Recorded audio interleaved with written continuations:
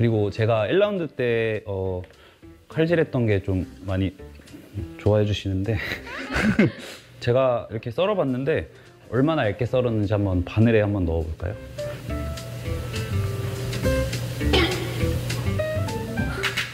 한 더 넣어볼까요? 세 개만 넣어보겠습니다. 한 10개는 들어갈 것 같아요.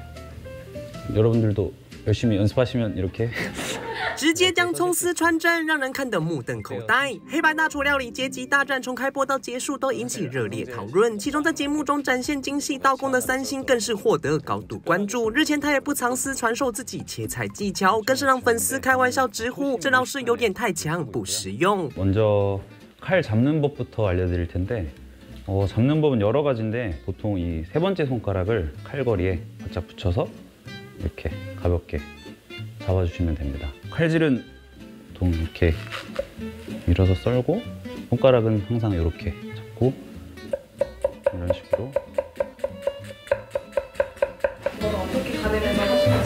그거는 많이 해보면 돼요.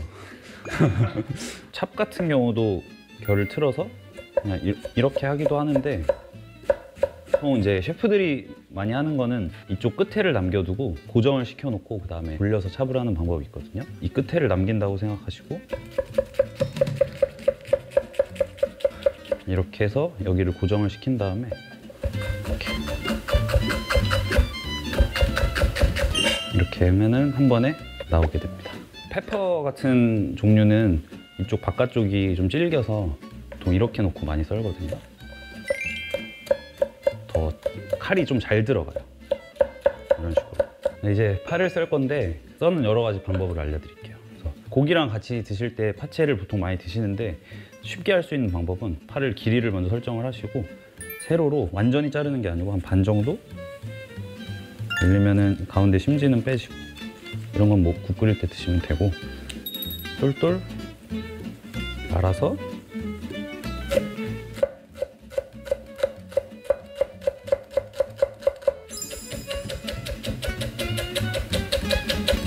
그리고 제가 1라운드 때 어, 칼질했던 게 좀 많이 좋아해 주시는데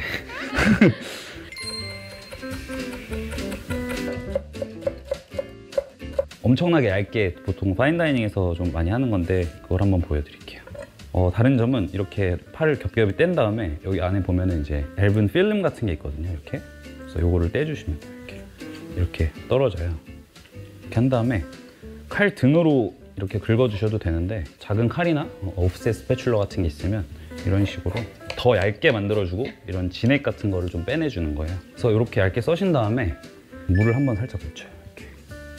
그래서 바닥에 잘 고정을 하고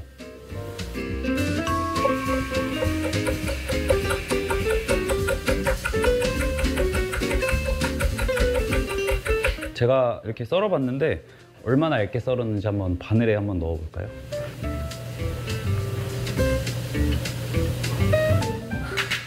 한 더 넣어볼까요?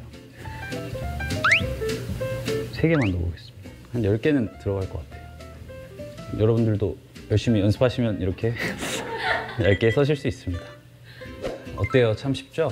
제가 생각했을 때 칼질은 요리의 시작과 끝이라고 생각하는데요. 처음에 원재료를 다른 크기로 잘라서 요리를 하고 마지막에 올라가는 장식까지도 처음과 끝이 모두 칼질이 가능해야만 퀄리티도 유지가 되고 정말 한 끗 차이로 달라지기 때문에 저는 칼질은 요리의 시작과 끝이라고 생각합니다. 오늘 전수해드린 스킬 열심히 연습하시면 여러분도 미래의 흑백요리사 셰프가 되실 수 있을 겁니다. 저희 흑백요리사 요리 계급전쟁 많은 관심과 사랑 주셔서 감사합니다.